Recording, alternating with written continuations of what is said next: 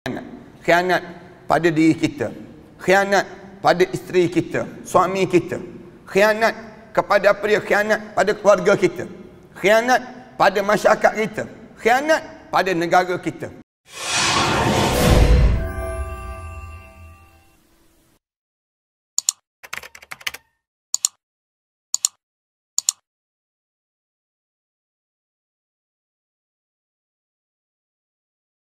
Rasulullah pesan pada kita dua benda ni jaga.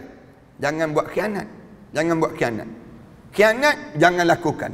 Sesekali jangan kamu berani buat khianat. Khianat pada diri kita. Khianat pada isteri kita, suami kita. Khianat kepada apa dia? Khianat pada keluarga kita.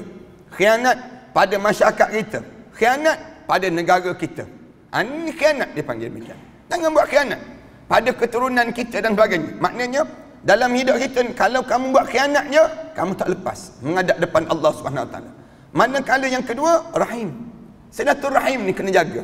Rahim ni di kalangan kita ramai di kalangan kita tak jaga silah ini sendiri. Silaturahim kita jaga di kita je. Bila kita berumah tangga kita jaga rumah tangga kita je. Kecil je kita jaga. Manakala adik-beradik kita yang lain peduli apa? Kita sebut demikian. Kita nak jaga dah mereka ni sendiri. Yang menyebabkan masing-masing yang yang teruk lagi jaga siapa? Jaga di kalangan pasangan hidup masing-masing. Tak jaga lagi dah keluarga-keluarga di kalangan kita ini sendiri